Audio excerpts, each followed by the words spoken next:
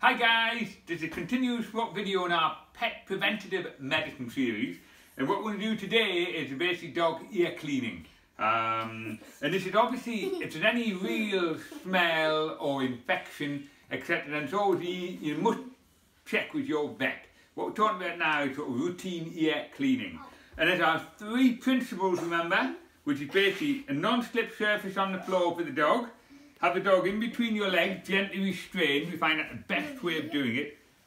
Secondly, get all your equipment to hand, which is obviously oh your ear cleaner, any tissues you might need all ready to go.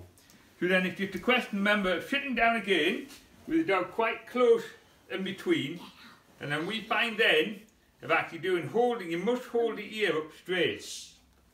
Have the tip ready, that normally just goes on the thing, have the tip ready, hold up, keep a nice tight hold, have the dog quite well restrained there, and we're going to put a little bit ear in.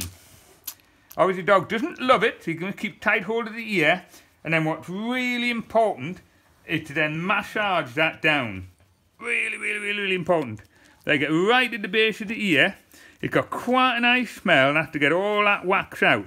Do you see that? And that's really important for about 10 or 20 seconds.